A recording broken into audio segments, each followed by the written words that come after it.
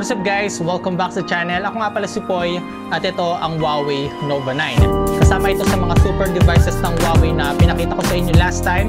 Kung hindi mo pa napapanood yon, ayan, panoorin mo dito. Anyway, kung naghahanap ka ng mid-range smartphone na may magandang camera or may flagship level camera na gagamitin mo pang vlog, photography, videography nang hindi ka mabibitin sa display at performance, eh, isama mo itong uh, Huawei Nova 9 sa listahan ng pagpipilian mo. And for sure, after nitong video na ito ay mapapadali ang pagdidesisyon mo dahil para sa akin guys, sulit na sulit itong Huawei Nova 9. O sige na nga, pag-usapan na natin to kaya wag na natin patagalin pa. Let's do this. Yo! Part of this video is sponsored by Canon.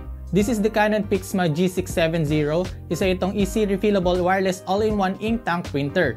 Kaya nito mag-print ng 3,800 quality borderless 4R size photos and up to 8,000 A4 size colored prints per refill.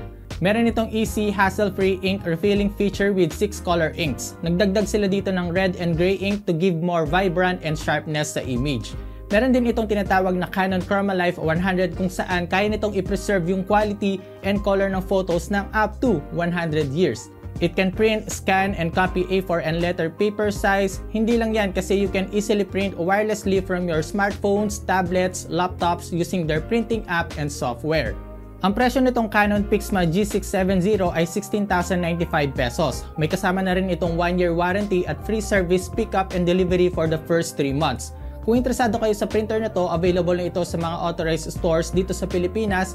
Pwede ka na rin bumili nito sa official Canon store sa Lazada and Shopee at ini-invite ko din kayo na sumali sa kanilang Viber community para makatanggap ng exclusive promos and offers. Check mo na lang yung mga links na nilagay ko dyan sa description box. Ang official price itong Huawei Nova 9 dito sa Pilipinas ay 23,999 pesos para sa 8256 variant. Dalawang kulay ang pwede nating pagpilian, black and starry blue. May good news din pala ako sasabihin sa inyo. Kapag nag-pre-order kayo nitong Huawei Nova 9 from November 19 hanggang November 25, 2021, makakakuha kayo ng worth 10,000 plus na freebies. Grabe no, halos kalahati ng presyo nitong Nova 9 yung ipamimigay nila. Kung gusto mong humabol, check the links in the description box. Alright, pag-usapan na natin yung design nitong Huawei Nova 9. Isa lang masasabi ko, ang ganda, lalo na itong starry blue. Blue yung primary color niya pero meron siyang gradient effect na nag-iiba-iba ang kulay depende sa tama ng ilaw. May glittery effect din siya na parang humahawak ka ng manipis na liha na makakatulong para hindi dumudulas sa kamay kapag ginagamit to. Unique din yung design ng camera nito. Meron siyang orbital ring effect na nag-highlight naman sa main camera niya. Sa left side nitong Huawei Nova 9, wala tayong makikita dito. Then sa top part, meron siyang microphone. Sa right side naman, andito na yung volume keys at power button. Then sa baba, dito natin makikita yung speaker, USB-C port, main microphone at SIM tray nito na may dual SIM slot. Hindi ito expandable pero para sa akin, hindi na tayo mabibitin sa 256 gigs na storage nito. In-display na rin yung fingerprint scanner niya. Wala akong problema sa pag-unlock sa phone. Very snappy and responsive. Yun nga lang, medyo mababa siya para sa akin na nasanay na sa fingerprint sensor ng Huawei P40 Pro na mas natural at mas madaling gamitin.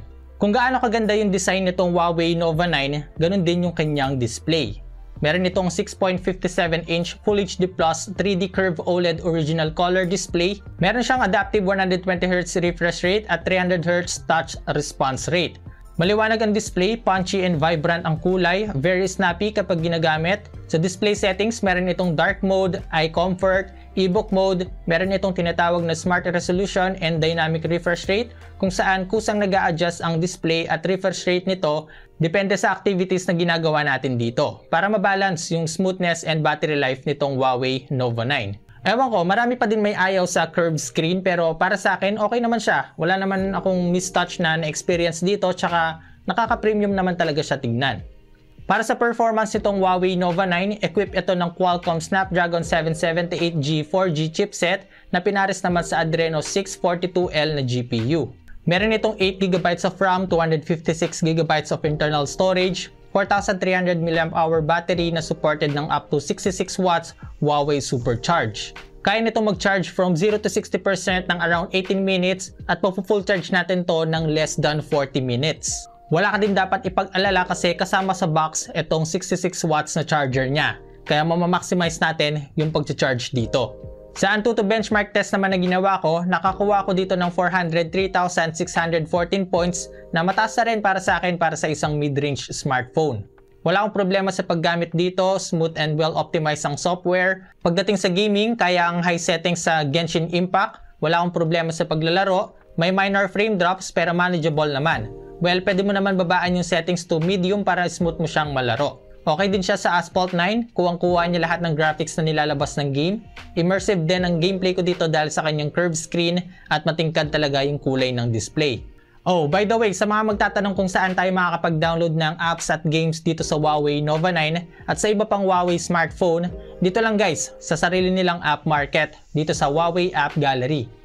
Madali lang gamitin to para lang din siyang Google Play Store. Yung mga top apps at games na madalas natin din na-download kapag may bago tayong smartphone, eh meron naman dito tulad ng TikTok, Lazada, Shopee, Viber, Mobile Legends, Asphalt 9 at marami pang iba. Kung sakali naman wala yung hinahanap mong apps or games sa App Gallery, may alternative tool tayong pwedeng gamitin na dinevelop din ng Huawei. Ito yung Petal Search widget. Dito naman, isa-search mo lang dito sa search bar yung gusto mong app or game at siya nang bahalang humanap kung saan trusted app market siya available. After niya mahanap, ikiklik mo lang yung install and that's it. Ganun lang din kadaling gamitin itong Petal Search widget. The main highlight of the Huawei Nova 9 ay yung kanyang flagship level camera nito. Meron siyang 50 megapixel super sensing main camera, may kasama itong 8 megapixels ultra wide camera, 2 megapixels on both macro and depth sensor, at 32 megapixels naman sa front camera. Now, hindi lang basta-basta 50 megapixels to ah, kasi meron itong RYYB sensor which is bago sa Nova series at makikita lang natin itong sensor na to sa flagship phone nila na P series. Base kay Huawei, up to 40% of more light ang pumapasok sa camera nito na makapagbibigay sa atin ng mas maliwanag na image sa madilim na environment. Meron din itong tinatawag na Huawei X Diffusion Engine kung saan may extra image processing itong ginagawa para mas maging sharp yung image both day and night shots. Ito pa, both main and front camera kaya hanggang 4K sa video recording. Kaya wala tayong magiging problema dito kung gagamitin natin ito pang vlog kasi mapa rear or front camera makakakuha tayo ng magandang outputs. Added camera features for content creation tulad ng high resolution mode, story creator, dual view video, continuous recording, petal clip video editor, at marami pang iba ay talagang makakatulong sa atin para mas maging creative pa.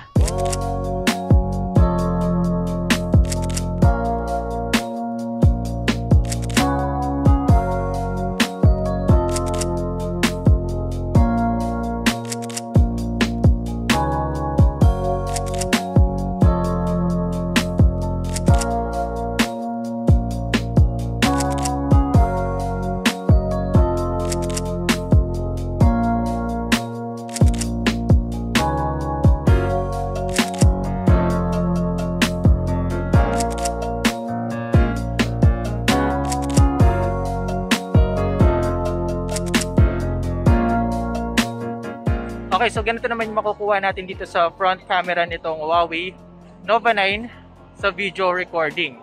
Guys, yung pinakasagad na format nito is up to 4K 30 FPS. So kung naghahanap kayo ng uh, smartphone na pang vlog nyo, so pwedeng pwede itong uh, Huawei Nova 9 kasi dito sa front camera niya guys, uh, yung details makukuha natin dito and also maganda yung kulay niya. Tsaka para sa akin, smooth na siya. Smooth na yung uh, movement natin dito. Okay, so meron din itong tinatawag na continuous recording kung saan, for example, ito nag-shoot tayo ngayon sa front camera and then may gusto akong ipakita sa inyo sa likod. So ang gagawin ko, switch ko lang yung camera dito sa rear. Ayan. Okay? Nang hindi ini-stop yung recording dito sa video na to. Ibig sabihin guys, gagawa lang siya ng isang uh, buong uh, straight na video. Teka lang, switch back ko lang. Ayan. So gagawa siya ng isang buong straight uh, video. Maganda to guys kasi usually kapag nagpa-vlog tayo, 'di ba? Pag front camera, magre-record tayo and then kapag may gusto tayong pakita sa likod, i-stop natin yung recording and then another uh, clip na naman 'yon. So dito guys, continuous siya. So isang isang ano lang, isang clip lang magagawa natin dito. Dito naman sa vlog mode, meron itong tinatawag na dual view video kung saan uh, both front and rear camera sabay sila nagre-record. Ayan. And then Pwede rin natin siyang i-switch ha. Yun. So, pwede nating i-switch yung isa ng uh, ultra-wide or naka-zoom. Ito pa yung isang format ng uh, dual view video kung saan maliit yung isang scene and then yung isa uh, buong scale siya. So, pwede rin natin siyang pagpalitin. Ayan, kung gusto natin na mas malaki tayo compared dun sa pinapakita natin.